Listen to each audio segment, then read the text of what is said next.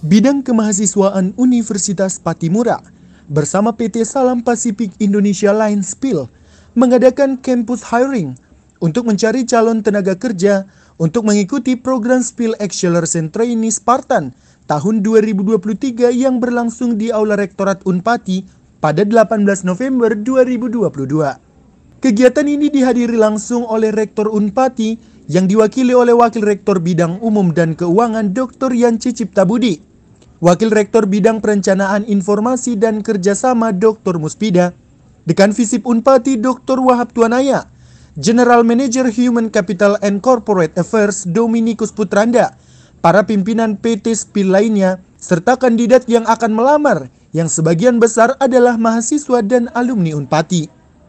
Kepada Pati Mura TV, Ketua Pelaksana Kegiatan Engineering Career Development Center Victor Lawalata mengatakan, ini merupakan bagian kerjasama Unpati dengan PT Spil Surabaya dan latar belakang diadakannya kegiatan ini karena adanya keinginan PT Spil untuk berkolaborasi dengan perguruan tinggi yang tujuannya untuk mencari pimpinan-pimpinan yang berkomitmen yang akan berkontribusi di perusahaan mereka.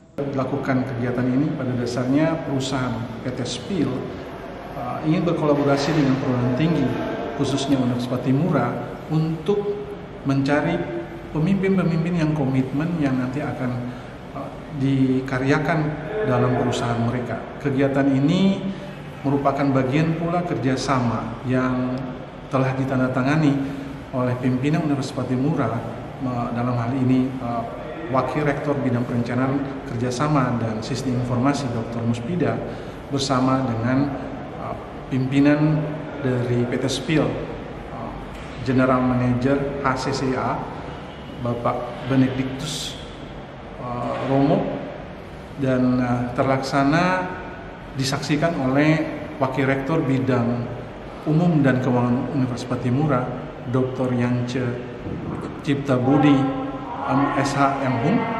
Kegiatan ini kemudian dilanjutkan dengan penjelasan secara singkat terkait PT Spil. Kemudian para pelamar itu dipandu secara langsung untuk mendaftar di laman yang telah disediakan oleh PT Spil dan langsung mengikuti tes psikotes dan kepribadian.